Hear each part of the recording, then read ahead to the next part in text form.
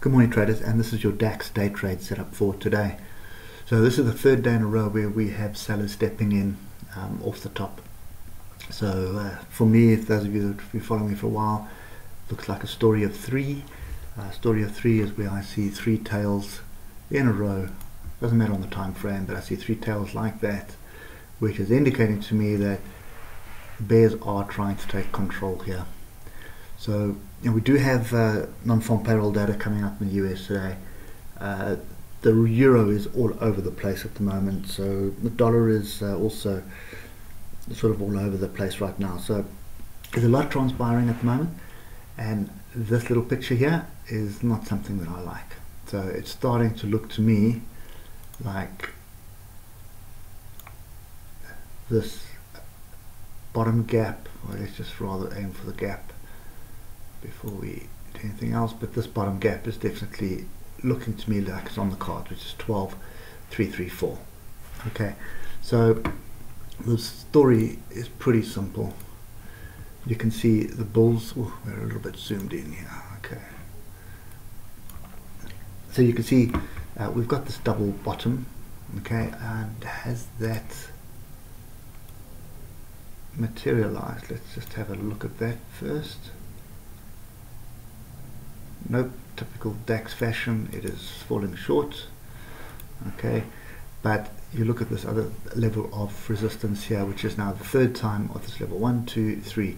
So is it third time lucky or third time unlucky? And uh, at the moment this is looking like third time unlucky to me.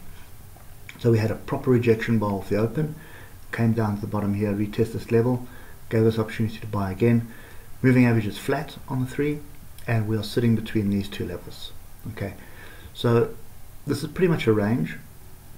This is the top of my range it's 12748 and this is the bottom of my range which is 12517 until we break this either way I'm out of this market. I'm not interested in trading this thing at the moment. So um, it is not looking very rosy in my view anyway. Okay if we come down to the hour you get a little bit more clarity.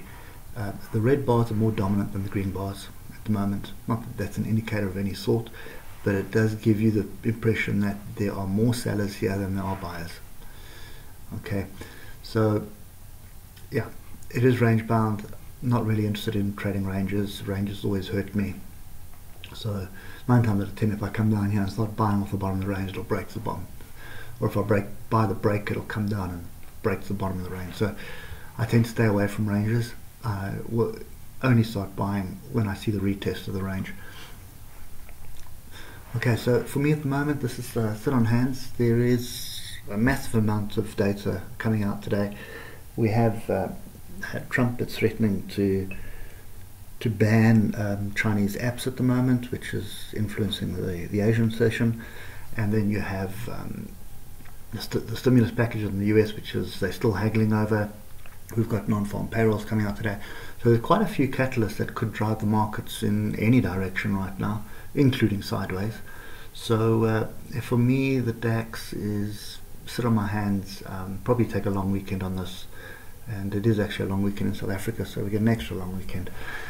So anyway, that's my confused state on the DAX. It's uh, is confused, range bound, until we start breaking through these ranges. And even if we do break this top range, the best I've got is 12,930. And if we break the bottom range, the best I've got is this gap to the downside at 12,330. Uh, that's not really attractive. It's not even a one-to-one -one trade. So um, I think I'll just uh, stay out of this for now. Okay, hope it helps you somewhat, and we'll catch up with you later. Cheers for now.